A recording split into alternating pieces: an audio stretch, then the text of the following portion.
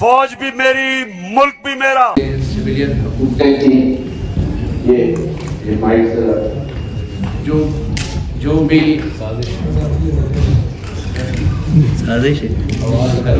हवाला बिस्मिल्लाहिर्रहमानिर्रहीम अस्सलाम वालेकुम Nasreen Supreme Court of Pakistan में सेमिनार में जहाँ chief justice of Pakistan Qazi Faez Isa और चीफ जस्टिस अतर मैनुल्ला का खिताब था वहीं मतीउल्ला जान ने भी इस तकरीब से खिताब किया। अपने खिताब में बल्ले का निशान छीनने पर मतीउल्ला जान ने चीफ जस्टिस के सामने इन्हें तनकीद का निशाना बना डाला। नाजिन सीनियर सहाफ़ी मतीउल्ला जान पीटीआई की आवाज़ बन गई। इस तकरीब के दौरान इनका माइक क्यों बंद किया गया, आप पहले ये वीडियो मुलायजा फरमाएँ। कभी आती है आवाज़ कभी नहीं आती है आ भी जाती है समझ नहीं आती समझ आ भी जाए तो फिर उस पर कुछ होता नहीं। एनी anyway, तो मुख्तलिफ़ किस्म के अदवार कोर्ट रिपोर्टर्स को देखने पड़े और हमने बतौर रिपोर्टर जो एक चीज़ मतम नज़र थी बतौर सुप्रीम कोर्ट रिपोर्टर मैं आपको बताऊँ कि मैं अमूमन अपने दोस्तों से कहता हूँ कि सुप्रीम कोर्ट ऑफ़ पाकिस्तान जो है आ, मैं समझता हूँ कि पाकिस्तान का नंबर वन लॉ कॉलेज है। वो इसलिए कि यहाँ पे हमें रियल टाइम में रियल इश्यूज़ के ऊपर रियल लॉयर्स को सुनने का मौका मिलता है। और फिर हम एक आई विटनेस होते हैं उस तारीख के, जो हमारी नज़रों के सामने बन रही होती है, या जिसको हम खुद बतौर first draftsman of the history लिख रहे होते हैं। तो इससे बेहतरीन लॉ कॉलेज पाकिस्तान में कोई नहीं हो सकता। और ये वो लॉ कॉलेज है, जहाँ पे सिर्फ़ आपको बड़े वकीलों को सुनने का मौका नहीं मिलता, बड़े जजों को सुनने का मौका मिलता है, आपको बड़े सियासतदानों को सुनने का मौका मिलता है। फॉर्चुनेटली और अनफॉर्चुनेटली बड़े बड़े सियासतदानों को यहाँ पेश भी होना पड़ा, यहाँ बुलाया भी गया, यहाँ लटकाया भी गया, यहाँ निकाला भी गया, यहाँ बहाल भी किया गया। तो ये एक किस्म का बहुत ही एक आइडियल एजुकेशनल इंस्टीट्यूशन भी है, न सिर्फ़ कोर्ट रिपोर्टर्स के लिए, बल्कि हर उस शहरी के लिए जो कोर्ट की प्रोसीडिंग देखता है, जो कोर्ट की प्रोसीडिंग्स को टेलीविज़न या अखबार में फॉलो करता है। अच्छा अब मैं डायरेक्टली अगर टॉपिक की तरफ़ आऊँ कि कोर्ट रिपोर्टर्स जो हैं और ख़ास तौर पे सुप्रीम कोर्ट रिपोर्टर्स वो डेमोक्रेसी को कैसे स्ट्रेंथन कर सकते हैं? और क्या वजह है कि जो जर्नलिज्म है या कोर्ट रिपोर्टिंग है, उसका वाद मकसद पब्लिक इंटरेस्ट तो डेफिनेटली है, उसका वाद मकसद यही होना चाहिए कि as a court reporter he is the watchman he is the जिसको क्या कहते हैं watch guard of democracy because democracy होगी तो फिर जर्नलिज्म भी होगी, तमाम फंडामेंटल राइट्स भी अवेलेबल होंगे। और vice Supreme Court because Supreme Court is the court of last resort यहाँ पे अगर फैसले हो गए एक बार तो फिर इनके असरात हमें नस्लों तक फेस करने पड़ते हैं।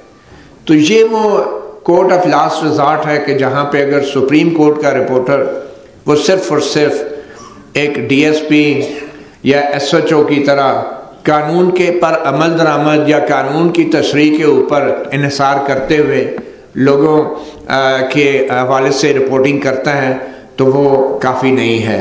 मेरे ख्याल में सुप्रीम कोर्ट और सुप्रीम कोर्ट का रिपोर्टर इन दोनों की सबसे पहली तरजीह आइन पाकिस्तान होना चाहिए और आइन के अंदर दिए गए बुनियादी हकूक़ होने चाहिए। अनफॉर्चुनेटली हमारा डिफरेंट रोल है सुप्रीम कोर्ट में। एक तो हकायक को बयान करना, वो हकायक जो एक रिपोर्टर देखता है। एंड फॉर्चुनेटली अब लाइव टेलीकास्ट के ज़रिए लोग खुद भी देख रहे होते हैं। मगर दूसरा, उन हकायक को इस तरीके से और इस तरतीब से बयान करना कि आम शहरी को ये मालूम हो कि सुप्रीम कोर्ट ऑफ़ पाकिस्तान में हो क्या रहा है। और फिर उसके बाद उनको हकायक बताने के बाद उनको ये समझाना भी कि जो हो रहा है वो ये है और होना क्या चाहिए था। माजी में क्या होता रहा है और जो माजी में होता रहा है, उसकी वजह से आज हम जिस हालत में हैं या जिस मरहले में हैं, उसका आपस में क्या ताल्लुक है? तो सुप्रीम कोर्ट का जो रिपोर्टर है, अगर वो आइन और आइनी हकूक़ को तरजीह नहीं देगा तो फिर होगा क्या? वही जैसे कि ऑनरेबल जज जस्टिस अतम नल्ला ने कहा कि बांग्लादेश में जो हो रहा था, उस वक्त के अखबार उठा के देख लें। जुल्फ़ार अली भुट्टो का जब ट्रायल हो रहा था, उस वक्त के अखबार उठा के देख लें। उस वक्त भी कानून पे अमल दरामद हो रहा था। उस वक्त भी कानून के तहत शवाहद पेश हो रहे थे। उस वक्त भी जजेस बड़े सख्त सवाल जवाब कर रहे थे जुल्फ़ार अली भुट्टो के वकला से। और रियल टाइम में उन वकला के जो दलाइल थे या उनके जो शवायद थे उनको ख़त्म करने की कोशिश की जा रही थी। आज भी सुप्रीम कोर्ट को कुछ ऐसे ही चैलेंजेस का सामना है और सुप्रीम कोर्ट के रिपोर्टर्स को भी ऐसे ही चैलेंजेस का सामना है। आज भी कानून पे अमल दरामद की बात हो रही है और आज भी कहा जा रहा है कि अगर कोई सियासी जमात कानून को फॉलो नहीं करती तो उसके लिए वो सज़ा मुकर होगी जो शायद किसी और सियासी जमात पे आज तक उस सियासी जमात आज आज भी उसी तरह कानून पे अमल दरामद हो रहा है जिस तरह ज, जिस तरह जनरल जयालक के दौर में कानून पे अमल दरामद होता रहा है जिस तरह फ़ील्ड मार्शल अयूब खान के दौर में कानून पे अमल दरामद होता रहा है जिस तरह जनरल मुशरफ के दौर में कानून पे अमल दरामद होता रहा है आज भी कानून के मुताबिक जो हैं शवाद इकट्ठे किए जा रहे हैं फैक्ट्स को सामने लाया जा रहा है। मगर as a court reporter as Supreme Court reporter मैं समझता हूँ हमारा सबसे बड़ा चैलेंज यही है कि अगर डेमोक्रेसी को बचाना है तो हमने आइन में दिए गए आइनी बुनियादी आइनी हकूक़ को भी नज़रअंदाज नहीं करना। अब जो सुप्रीम कोर्ट ऑफ़ पाकिस्तान है, बतौर कोर्ट रिपोर्टर हमने उसको मुख्तलिफ़ जावियों से रिपोर्ट किया, क्योंकि अगर आप 25-26 साल एक अदालत को कवर कर रहे हैं तो आप लोगों को बतौर वकील भी जानते हैं, बतौर जज भी जानते हैं, और फिर उनके पहले क्या उनकी राय होती थी मुख्तलिफ़ मामला पे, और बतौर जज उनकी क्या राय है, उससे भी आप आगाह होते हैं। और फिर आप मुल्क के अमूमी जो एक सियासी सूरत हाल होती है, और जो स्टेट ऑफ़ डेमोक्रेसी होती है, आप उससे भी आगाह होते हैं। इसमें कोई शक नहीं कि सुप्रीम कोर्ट या हाई कोर्ट में अभी भी ऐसे मौजूद जजेस साहिबान मौजूद हैं जो बुनियादी इंसानी हकूक़ की बात करते हैं। इसमें कोई शक नहीं कि हमारी इन्हीं अदालतों में ऐसे जजेस साहिबान मौजूद हैं कि जो शायद बुनियादी इंसानी हकूक़ के से हट के अपने ज़ाती मफाद और ज़ाती हकूक़ को तरजीह देते हैं। इसमें कोई शक नहीं कि इस मुल्क में अगर आज़ाद अदलिया है तो यहाँ पे एक आज़ाद खुद मुख्तार इस्टेब्लिशमेंट भी है, जो किसी के ना तो कंट्रोल में है और ना कहने में आती हैं। तो इन तमाम अनासर को मद्देनज़र रख के ही सुप्रीम कोर्ट के रिपोर्टर्स ने जजों के दिए गए फैसले और सुप्रीम कोर्ट के दिए गए फैसलों को न सिर्फ़ रिपोर्ट करना होता है, बल्कि उसको तजिया भी करना होता है। और ऐसा करते हुए जिस तरह कभी कभी सियासतदान की ज़ुबान फिसल जाती है जजेस की ज़ुबान भी फिसल जाती है, जिस तरीके से इसी तरह सहाफ़ियों की ज़ुबान भी फिसल सकती है।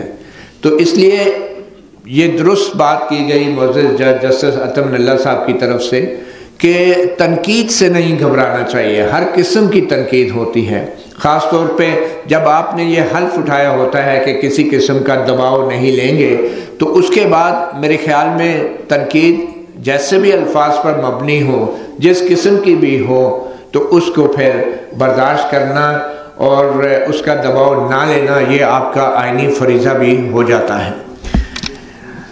मज़ीद मैं ये कहूँगा कि जो लाइव रिपोर्टिंग अब टेलीविज़न की शुरू हुई है, इससे कोर्ट रिपोर्टिंग को नए चैलेंजेस अब फेस करने पड़ रहे हैं।